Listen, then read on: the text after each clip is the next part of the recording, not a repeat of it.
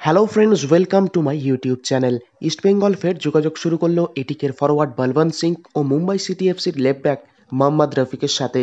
তো ফ্রেন্ডস এই বিষয়টি নিয়ে আজকের এই ভিডিওটিতেই আশা করছি আপডেটটি মিস না করে ভিডিওটি তোমরা প্রথম থেকে শেষ অবধি পুরো দেখবে। তো চলো ভিডিওটি শুরু করা যাক।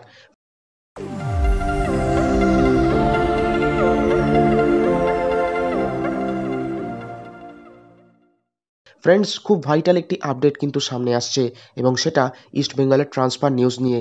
খবরটা শুনলে ইস্ট বেঙ্গল ফ্যানেরা কিন্তু খুবই খুশি হবেন।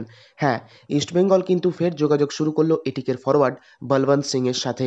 কয়েকদিন আগেই বলবন্তকে প্রস্তাব দিয়েছিল লাল হলুদ, কিন্তু সেই প্রস্তাবে বলবন্ত খুব একটা সাড়া দেননি। কারণ বলবন্তের তরফে পরিষ্কার জানিয়ে দেওয়া হয়েছিল যে, যদি ইস্টবেঙ্গল আইএসএলে খেলে, তবেই লাল হলুদের হয়ে সই করতে রাজি তিনি। কিন্তু এখন শোনা যাচ্ছে, আগামী মরশুমে বেশ কয়েকটি ক্লাবের অফার থাকা সত্ত্বেও ইস্টবেঙ্গলে সই করার দিকে অনেকটাই এগিয়ে রয়েছে এটিকের এই ফরওয়ার্ড তাহলে কি আমরা ধরেই নেব যে ইস্টবেঙ্গল আগামী মরশুমে আইএসএলই খেলছে?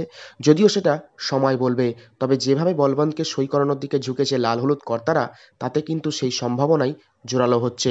অন্যদিকে শুধু বলবন্ত একাই নন, একই সাথে ইস্টবেঙ্গল যোগাযোগ শুরু করেছে Mumbai City FC left back Mohammad রফিকের সাথে। হ্যাঁ ফ্রেন্ডস তোমাদের আরও একটা তথ্য দিয়ে রাখা ভালো।